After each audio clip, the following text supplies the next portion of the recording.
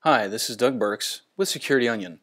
In the previous video, we installed Security Onion using the standard Ubuntu installer and we rebooted and logged in using the username and password that we specified in the Ubuntu installer.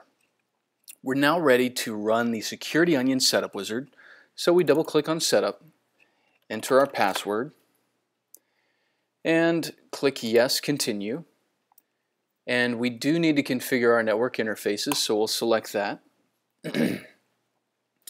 so remember, in this virtual machine, we have two network interfaces. We're going to specify that Ethernet 0 is going to be our management interface. That interface is going to have an IP address.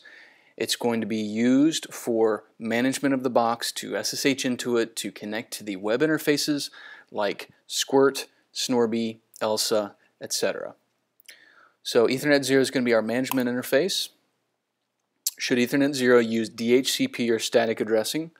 For a true enterprise production deployment, you definitely want to be using a static IP address for all of your Security Onion boxes, but for the purposes of this demo, we'll just use DHCP.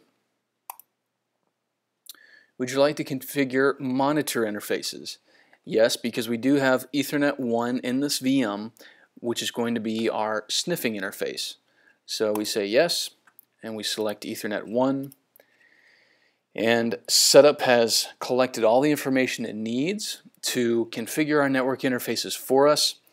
And remember that these interfaces that we define for sniffing, Ethernet 1 in this case, uh, setup is going to optimize those interfaces for sniffing. So it's going to disable any NIC offloading functions so that these sniffing processes get a true view of the packets as they traverse the network. So everything looks good. We'll say yes, make the changes and reboot. The virtual machine will reboot and we'll log back in using our standard Ubuntu username and password. And once we're back to the desktop, then we'll be ready to run setup phase two.